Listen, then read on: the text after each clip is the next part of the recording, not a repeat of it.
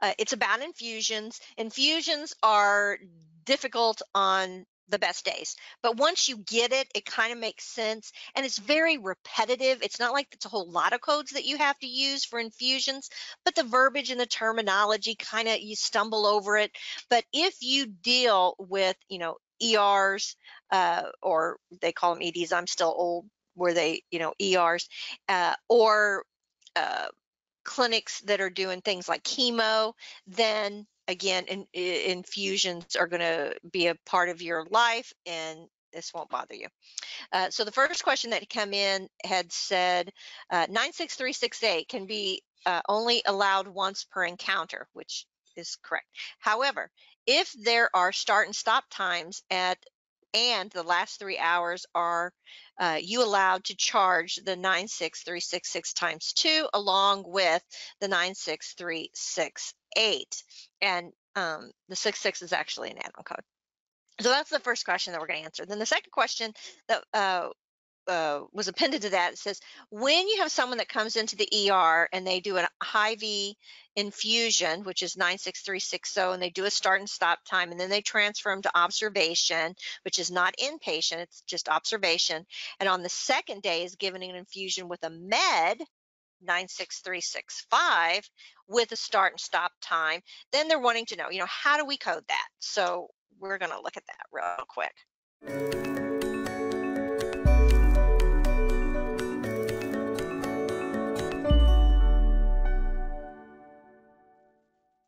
So the first thing you have to know, and I've got um, website addresses. If you're in the CCO club, you get these trans, you get these answer sheets. That's another perk. So you can go back and check those links. Uh, what is concurrent infusions? Because that's kind of what we're dealing with. But uh, whenever you have two drugs are given at the same time, or multiple infusions are provided through the same intravenous line. Okay, so concurrent is the key word that we want to pay attention to because that's going to help you with the stop and start. Now, when you look in your CPT manuals, this is the area that you're going to. So this is the headings that you actually see in the manual. It's under the medicine section. And I was able to pull this from Find Code. I love the way their encoder is set up. It is very conducive to education. But note, it's therapeutic, prophylactic, and diagnostic injections and infusion, but these codes that this person asked about excludes chemotherapy or high complex drugs. Right. So there's another set of codes for those. So mainly what we're dealing with is uh, hydration, and there's codes for hydration uh, that aren't these, uh, but we are um, giving them an IV, hooking them up to fluid for a specific reason other than just hydrating them. And then sometimes they'll they'll put a piggyback or, or attach another bag uh, with medication. Now, if it's something that they do less than 15 minutes, that's considered a push, and that's a different code. So uh, with this intravenous uh, infusion, and it can be for any of these reasons, uh, the, the primary code that you're going to use is the 96365. It's up to one hour. And then you notice here, these are all add-on codes. So an additional hour, you know, uh, then this is a, sub, a sequential infusion of a new drug or substance. So we're putting in a different med or fluid. And then they've got the concurrent infusion. Now, this other code, the 96368, same thing, specify the drug or substance, okay, that's important uh, for the concurrent infusions. But the guidelines tell you report 96368 only once per date of service. So that's where the confusion comes in. They knew it was concurrent, but you can only code it once in uh, a date of service then they are saying, by the way, you could use these in conjunction with these other codes. Now, the six eight code, look up here, right? That's in concert with these, these other add-on codes. So this is the explanation of how I, I, made this smaller because find a code had this in additional, but um, uh, most of us already know, you know, you place an IV line in the arm, usually blah, blah, blah, all that other good stuff. Um, but um, note that the physician provides periodic assessment and patient documentation of the response to the treatment and stuff. That's entailed in that code. And then it was bulleted out. So you've got your 96365 for up to one hour. And then these are those add-on codes. But remember, each additional hour of the same infusion. So if it takes two hours to infuse something, and there's all kinds of protocols and reasons why it would take two hours, then you're going to use those two codes, right? And then if it's going to be a sequential infusion of a different drug. Let's say okay as soon as we put in this this drug we're going to turn around and you know give them potassium a bag with potassium or something. And we're going to do that for up to an hour.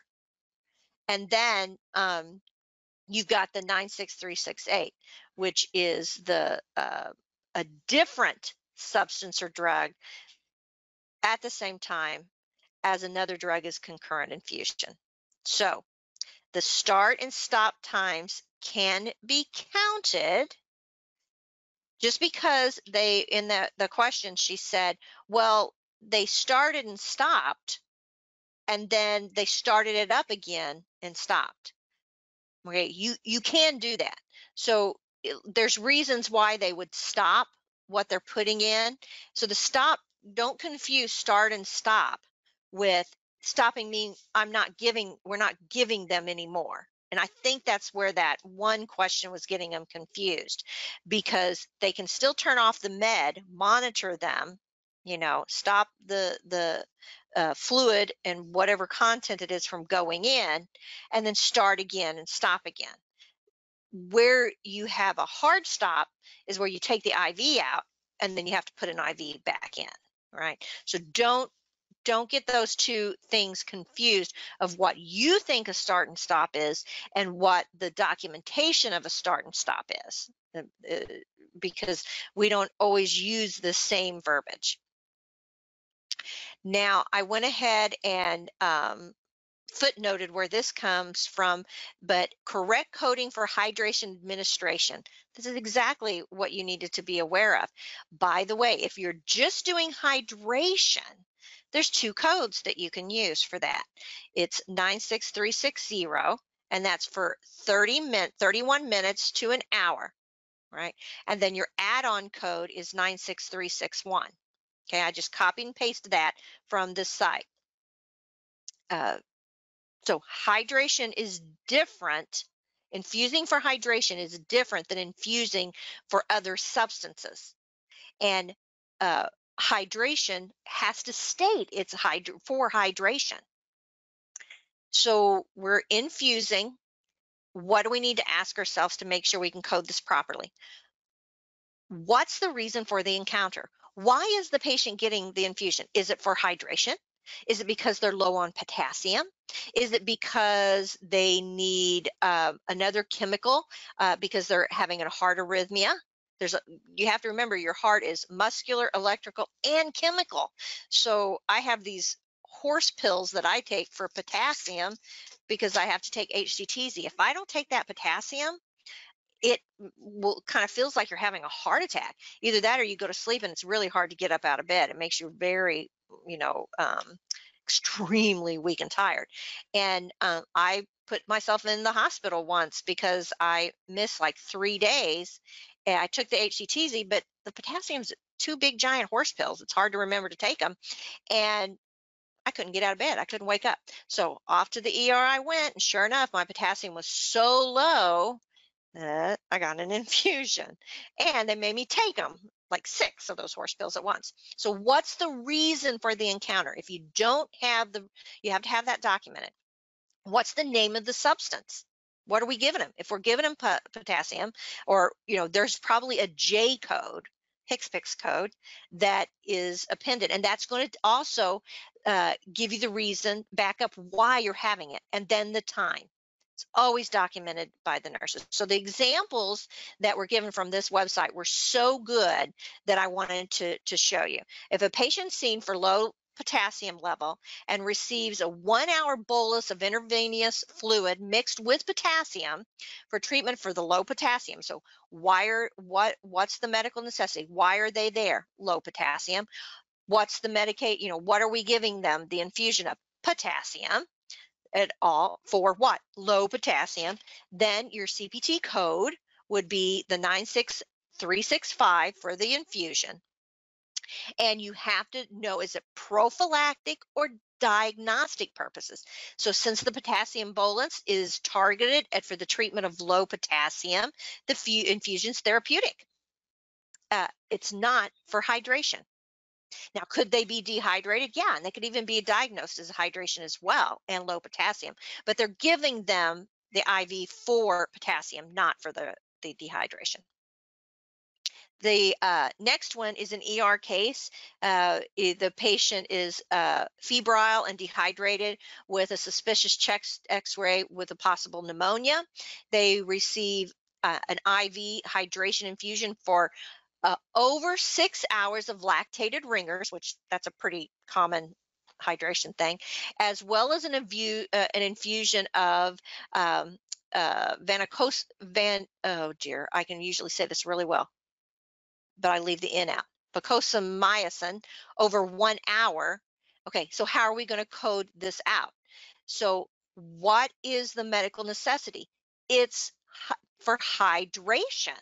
So 96361 is what we're going to code, and the infusion of antibiotic is going to go uh, reported as the primary infusion uh, with one unit 96365. So six units of the hydration and then the um, uh, med- the antibiotic 96365.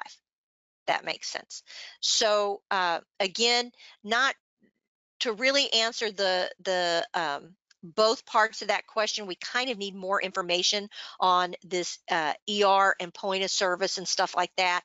So um, without knowing why was the patient getting the hydration why were they set up for observation in the er was what was the reason for the start and stop? You know we can't really answer that question properly but that's the resources and the codes to go by to go forward. So hopefully you can do your own research off of that. Do you need more medical certification and business training Learn more at www.cco.us.